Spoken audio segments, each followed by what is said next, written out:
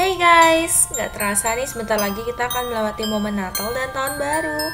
Di video hari ini aku akan bikin Christmas look sesimpel dan senatural mungkin. So, if you want to know how I create this look, keep on watching. Karena sekarang lagi musim dingin, bibir aku jadi lebih kering nih guys. Jadi aku akan ngelembapin bibir aku dengan lukas papal. Nah, tadi aku sedang ngelembapin bibir nih. Sekarang aku akan ngelembapin wajah aku dengan RNA Power dari SK2 ini.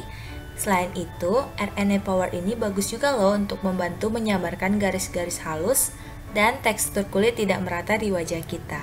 Sehingga kulit wajah kita itu tampak lebih awet muda dan gunakan RNA Power ini di seluruh wajah kalian.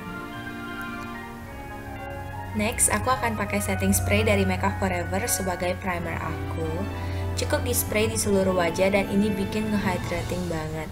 Karena formulanya cair, jadi ini gampang banget nyerap ke kulit aku. Karena wajah aku itu banyak banget bekas jerawat kemerahan guys, jadi aku akan cancel menggunakan korektor warna hijau dari Morphe Corrector and Concealer Palette. Ini membantu banget untuk warna base wajah kita terlihat lebih merata. Oh ya, pakainya sedikit-sedikit aja ya guys, karena ini bisa bikin kulit jadi lebih kering loh.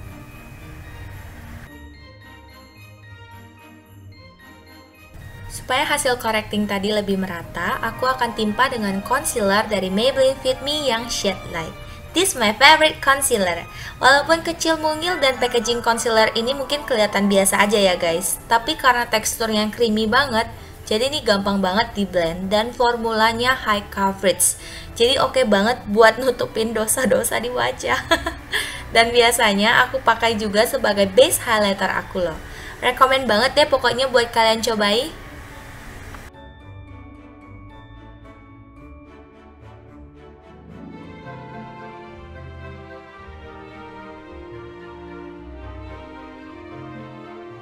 Selanjutnya aku akan pakai Emina Cushion Bear With Me dan aku pakai shade nomor 2 yang natural. Menurut aku formula dari cushion Emina ini ringan dan dia medium coverage. Aku juga suka loh bawa cushion ini kalau lagi jalan-jalan and traveling. Karena bentuknya itu compact jadi gampang banget buat touch up di mana pun. So, buat kalian yang penasaran dengan produk ini, kalian bisa klik link di atas aku untuk lihat detail review dari aku tentang mineral cushion dari Emina ini. Keluar tanpa gambar alis? No banget. Jadi aku akan pakai Fashion Brow Ultra Fluffy dari Maybelline dan aku pakai yang shade brown. Ini termasuk favorite eyebrow karena bentuknya agak triangle dan teksturnya creamy banget jadi gampang buat ngisi alis aku yang bolong-bolong seperti ini. Nah seperti biasa aku akan gambar bingkai alis aku dulu Terus aku akan ngisi alis aku yang bolong-bolong ini dari bagian luar ke bagian dalam Nah begitu juga di bagian alis yang sebelahku Bentuk alis gak mesti harus sama persis, yang penting kelihatan natural sesuai bentuk alis kita ya guys. Nah, buat kalian nih yang udah temenan dengan aku di Instagram, pastinya kalian tahu kalau baru-baru ini aku dikirimin krim blushnya Jafra dan aku suka sama warna picinya ala-ala Korea gitu loh guys. Terus tekstur untuk si krim blushnya Jafra ini creamy banget. Waktu aku pakai beauty blender beberapa kali tap di wajah itu langsung kelihatan warna picinya. Sekarang waktunya untuk nge-shade semua bestari dengan loose finishing powder dari Maybelline Fit Me. Aku pakai yang shade light dan ini bener-bener sehalus tepung guys. Gak bikin makeup kita jadi berat ataupun keki di wajah. Biasanya aku aplikasikan loose finishing powder ini di bagian under eye aku dan juga di bagian T-zone yang sering berminyak dan juga jangan lupa kalian pakaikan di leher supaya nggak berbeda warnanya dengan wajah kita. Supaya hasil eyeshadow aku lebih pigmented, aku akan pakai eye base dari Catrice dan aku baru aja menyadari begitu pentingnya loh guys menggunakan eye base sebelum memakai eyeshadow supaya hasil dari eyeshadow kita itu lebih pigmented dan long lasting. This my first time aku nyobain eyeshadow palette dari Vocaler dan ini yang Tropical Vocation Brand Vocaler ini sempat ngehippie banget karena selain harganya itu pas di kantong dan hasil eyeshadownya lumayan pigmented loh guys. Nah untuk warna pertama aku ambil warna magenta, warna itu seperti purple tua dan aku aplikasikan di eyelid aku. Selanjutnya, supaya nggak ada harsh line nih guys, aku akan pakai warna frost di atas warna magenta tadi menggunakan blend brush. Seperti biasa, kalian bisa ngeblend dari bagian luar ke bagian dalam. Warna selanjutnya adalah warna camel. Jadi camel ini kelihatan seperti red wine gitu. Aku aplikasikan di bagian outer view aku supaya mataku terkesan dalam dan berdimensi. Dan yang bikin aku penasaran dari Vogue Color itu adalah warna shimmer glitternya guys. Karena banyak banget loh yang swatches dan hasilnya rata-rata bagus banget.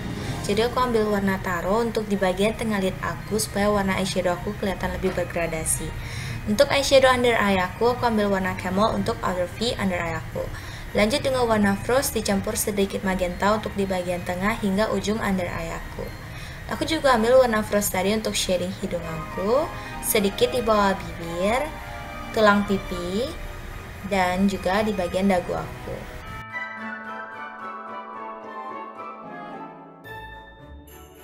Selanjutnya aku akan pakai Hyper Soft Liner dari Maybelline.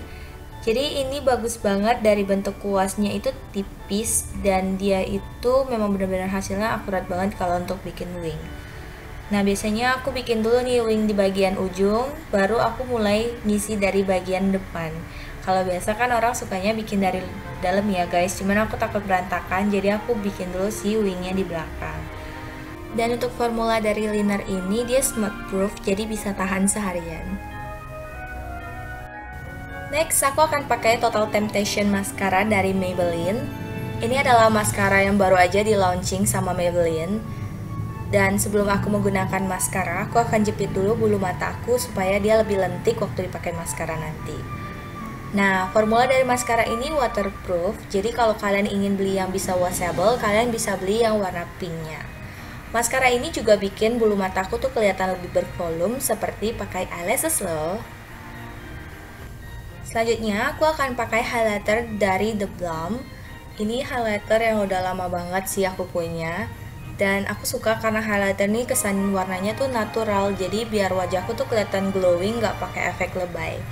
Nah, biasanya aku aplikasikan di tulang pipi aku, dahi, di bagian bibir juga, dan di bagian dagu aku sedikit.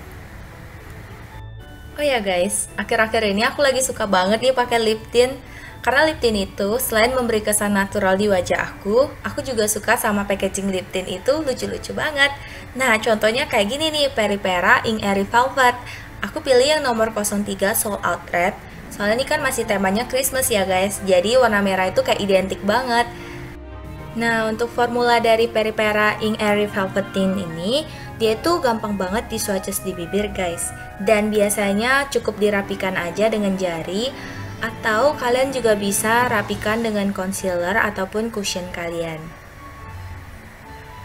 And for the last, jangan lupa pakai setting spray dari Makeup Forever tadi ya guys. Jadi ini bisa ngekip semua makeup tadi untuk long lasting seharian. Tada! This is my Christmas makeup look. Hope you will enjoy with this video. Don't forget to like, subscribe my channel, and turn on the notification. Once again, Merry Christmas and Happy New Year! See you next video. Bye!